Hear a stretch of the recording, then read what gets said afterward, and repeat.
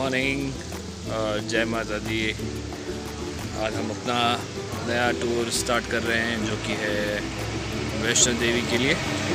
हम वैष्णो देवी और इसमें पन्नी टॉप कवर करेंगे। आ, कल हम शाम को बीकानेर से बस से चले थे और सुबह नौ बजे जम्मू पहुँच गए। वहाँ से हमने एक टैक्सी करी है जो भी हम कटरा जा रहे हैं। जम्मू से कटरा का रास्ता करीब करीब एक से डेढ़ घंटे लगता है और रोड भी काफ़ी अच्छी बन गई है फोर लेन रोड्स काफ़ी अच्छी बन गई है। मैं आपको दिखाता हूँ फोर लेन रोड्स।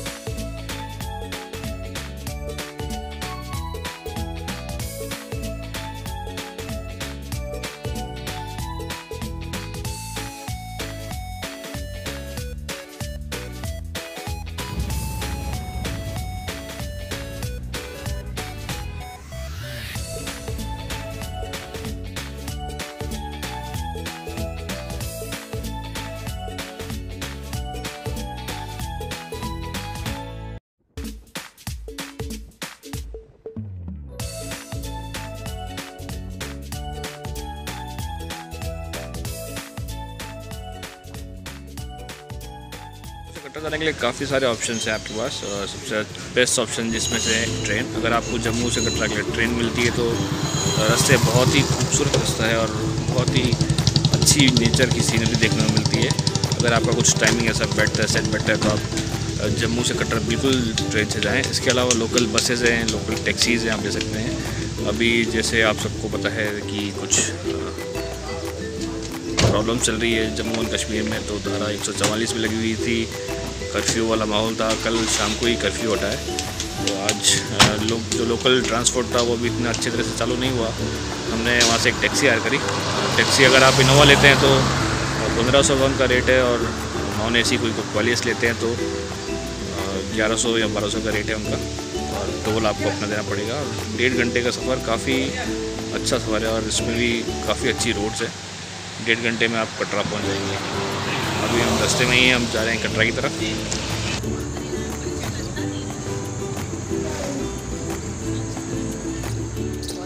अभी हम पहुँच गए थे कटरा। जम्मू से कटरा पहुँचने में हमको लगे पूरे डेढ़ घंटे। और डेढ़ घंटे हम कटरा पहुँचने के बाद हम पहुँचे यहाँ निहारी का कॉम्प्लेक्स है। बहुत बड़ा कॉम्प्लेक्स है इसमें। सारी सुविधाएँ आपको मिल जाएगी। डॉर्मेट्री है फोर फोर बेडरूम है। फोर बेड वाला बेडरूम है, टू बेड वाला बेडरूम है, और क्लॉक रूम है, रेस्टोरेंट है, बैंक है, एटीएम है, और यात्रा पर्ची काउंटर है तो सब प्रकार की सुविधाएँ आपको इस निहारिका कॉम्प्लेक्स में मिल जाएगी, काफ़ी अच्छा कॉम्प्लेक्स है। और यहाँ भी हमने एक रूम लिया था और फ्रेशन अप होके क्लॉक रूम में सामान रख लिया और एक यात्रा पर्ची भी यहीं से ले ली है और दोपहर के बज रहे हैं तीन तो बस यात्रा शुरू कर रहे हैं, यहाँ से चढ़ाई ऊपर साढ़े बारह किलोमीटर की चढ़ाई है। देखते हैं कब तक पहुँचते हैं रात को।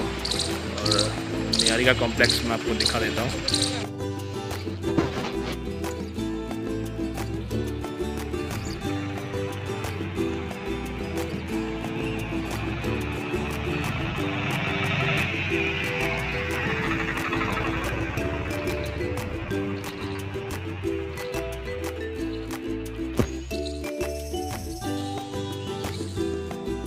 और निहारिका कॉम्प्लेक्स से आधा एक किलोमीटर आगे ही है मंदिर का मेन गेट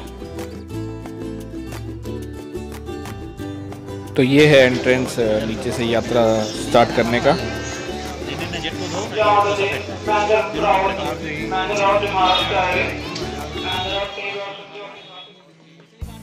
तो अब हमने स्टार्ट कर दी है ऊपर चढ़ाई। हमने शाम चार बजे ऊपर के लिए चलना स्टार्ट किया था। और अभी हो रहा है टाइम शाम के छः। अभी हम दो ही किलोमीटर, आ पाए हैं आराम से एंजॉय करते हुए। अभी थोड़ी डिफ़िकल्ट है चौड़ाई। तो अर्धकुंवारी तक आने के लिए है दो रास्ते, एक ताराकोट और एक पुराना रास्ता। तो अभी हम अर्धकुंवारी तक पुराने रास्ते से आए हैं और इसके आगे भी दो रास्ते हैं, अभी एक पुराना और एक नया मार्ग। तो अब हम जाएँगे हिमकोटी वाले रास्ते से, जो कि नया मार्ग भी बनाया है। तो ये है इलेक्ट्रिक गाड़ी, जो आपको अर्ध कुमार से मिल जाएगी ऊपर भवन तक जाने के लिए। और बाकी व्यवस्था बहुत अच्छी है। पूरा टीन शेड कवर है, ये जो नया रास्ता मैंने आपको बताया ये वो रास्ता है। और काफ़ी इसमें लाइट्स की भी व्यवस्था काफ़ी अच्छी है। पूरे टाइम भजन चलते रहते हैं चैल पहल लगी रहती है और रास्ते में वैष्णो देवी श्राइन बोर्ड के काफ़ी सारे छोटे छोटे कियोस्क और शॉप्स और रेस्टोरेंट भी हैं जहाँ आपको बहुत ही कम कीमत पे, बहुत ही अच्छा और बिल्कुल स्वादिष्ट खाना भी मिल जाएगा। और काफ़ी सारे कॉफ़ी शॉप्स आइसक्रीम शॉप्स और काफ़ी छोटी मोटी दुकानें मिलेगी आपको बीच में।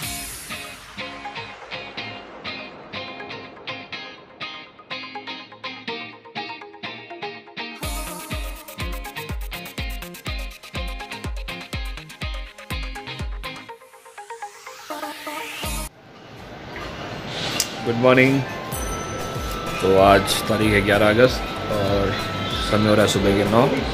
और कल हम शाम को चार बजे कटरा से चलना शुरू किए थे और चार बजे के बाद बीच में हमने काफ़ी स्टॉप लिए और आधा एक घंटा बीच में कुछ प्रॉब्लम हो गई थी, वहाँ रुके भी थे।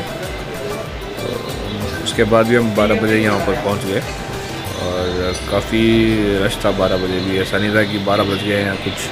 दुकानें बंद हो गई लेकिन पूरा मार्केट खुला था, पूरा मंदिर खुला था।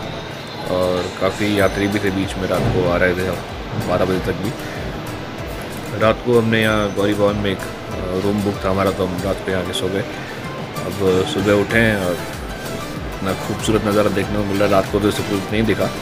सुबह इतना खूबसूरत नज़ारा भी हमने देखा। बस अब हम जाते हैं, दर्शन करते हैं माता के। चढ़ाई की अगर मैं बात करूँ तो चढ़ाई कटरा से द्वार कुमारी तक हम पुराने रास्ते से आए थे। नया ताराकोट वाला रास्ता हमने नहीं लिया तो थोड़ी टफ थी चढ़ाई।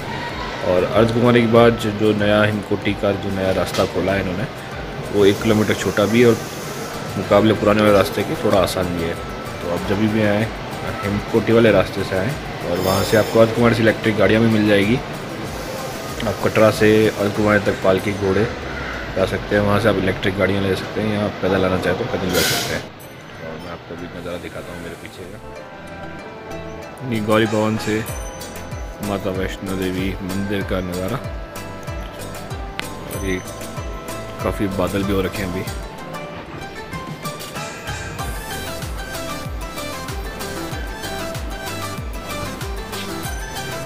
बहुत ही खूबसूरत नज़ारा है ये। और यहाँ ऊपर बादलों के अंदर है, भैरू कुटिया भैरू जी का मंदिर है ऊपर, जो बिल्कुल अभी बादलों से घिरी हुई है।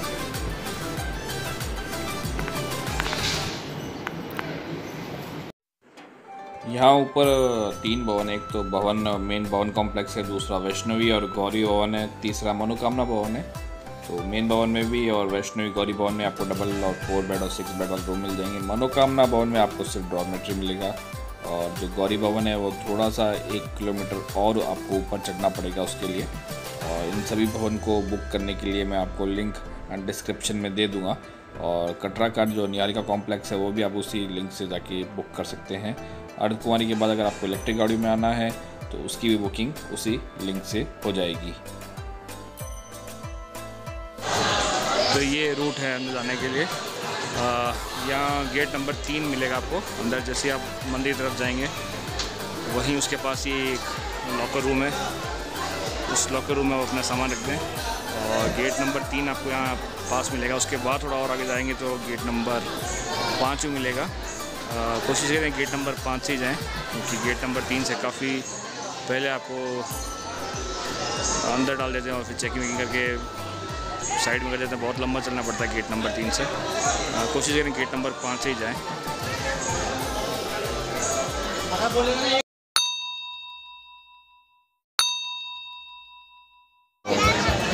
दर्शन करने के बाद हम जा रहे हैं भैरू मंदिर। केबल कार से जा रहे हैं। केबल कार यहाँ से हर पाँच मिनट जाती है मंदिर के लिए। सौ रुपये इसका किराया आने, जाने का। मैं आपको दिख रहा था केबल कार भी काफ़ी अच्छी है। दो किलोमीटर यहाँ से भैरव मंदिर और काफ़ी खड़ी चढ़ाई है तो काफ़ी टफ रहता है उसको चढ़ना। भैरव मंदिर जाना भी बहुत ज़रूरी है, वैष्णो देवी के दर्शन के बाद। इसलिए केबल कार अच्छा ऑप्शन है भैरव मंदिर जाने के लिए।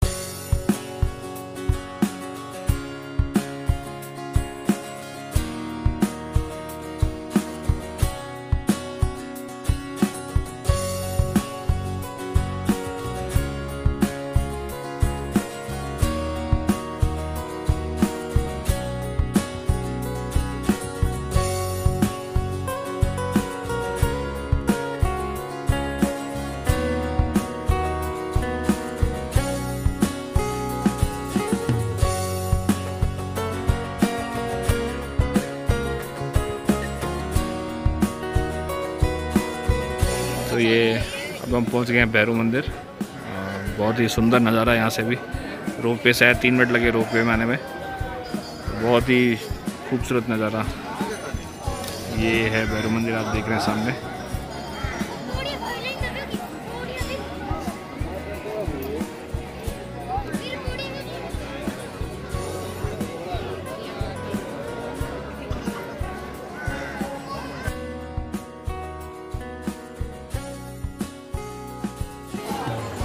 यहाँ आपको इन राम बाग के सैनिकों से थोड़ा सा बच के चलना पड़ेगा।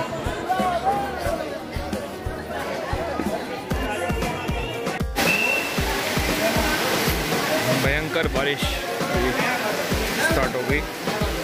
नीचे उतरना स्टार्ट किया था और तब मौसम काफ़ी ख़राब हो रहा था और अब भयंकर बारिश हो रही जैसे आप देख रहे हो, कुछ भी नहीं दिख रहा। इतना फॉग हो गया है। बाहर इतना क्लाउडी है कुछ भी दिख रहा, सिर्फ़ बारिश ही बारिश है दूर दूर ऊपर भैरव मंदिर से भी आप सीधा नीचे जा सकते हैं, वहाँ से एक किलोमीटर थोड़ा रास्ता कम ही पड़ता है। लेकिन हमारा सामान चूँकि नीचे मंदिर, माता के मंदिर, भवन में लॉकर रूम में था तो इसलिए हमें केबल कार से वापस नीचे आना पड़ा और सामान लेके हमने नीचे की यात्रा शुरू करी।